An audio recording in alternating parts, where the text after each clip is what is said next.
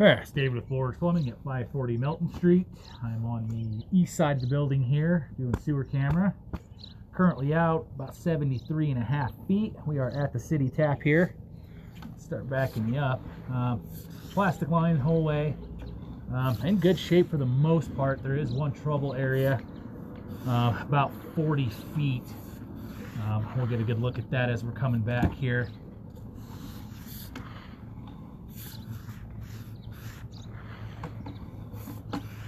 Um, other than that, everything else looks to be in good shape here. Somebody flushed toilet.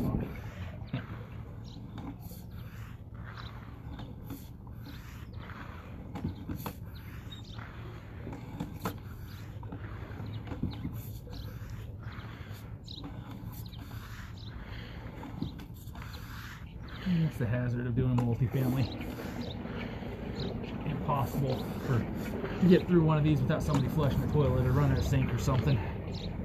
Oop, I went past it. Where was that? Right here. So this top left, you can see there's a pretty good crack in this line. Um, obviously this being compromised, I'm going to recommend that this be excavated and repaired. Uh, it's not causing any flow issues at the moment, but has no guarantee that it'll stay that way being cracked like that.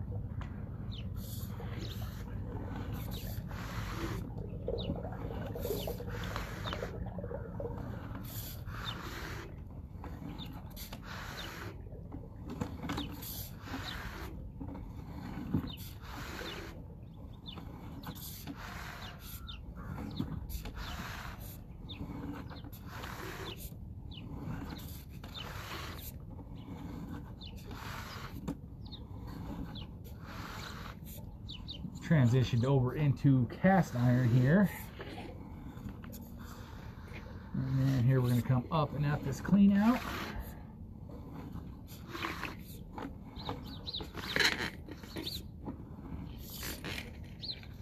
Wipe this guy down here.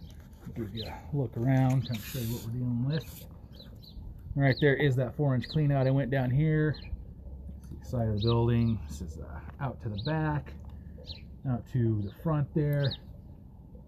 And I can't tell 100% if we're going out here into Weaver or if we're going out this way into Melton, but um, we're gonna gonna recommend we do a locate on that as well, that damaged area. So again, David with Bull Ridge Plumbing at 540 Melton Street.